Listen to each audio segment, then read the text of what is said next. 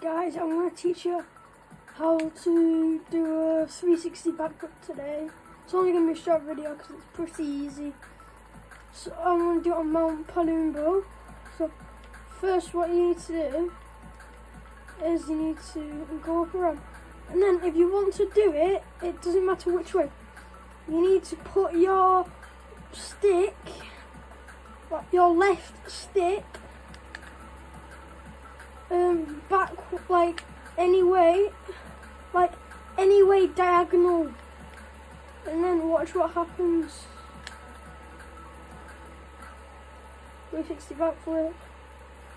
So that all should teach you how to do all of them.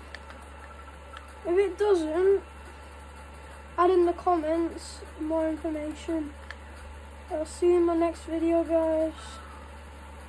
fiz.